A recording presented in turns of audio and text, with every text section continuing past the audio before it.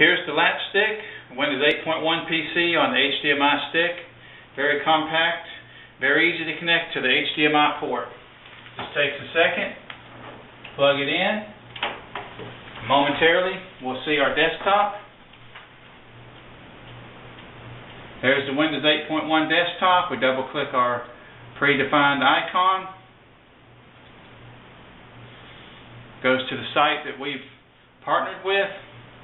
We want to stream CNN, so we'll scroll down to CNN, click on Watch Now, and we click on the premium channel, high def content. In just a few seconds, we'll be streaming live TV without cable. And there it is, streaming CNN live.